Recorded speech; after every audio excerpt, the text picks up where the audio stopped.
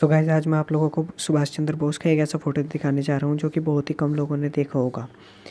यह फ़ोटो बहुत ही रेयर है और बहुत ही कम लोगों ने देखा है। Thank you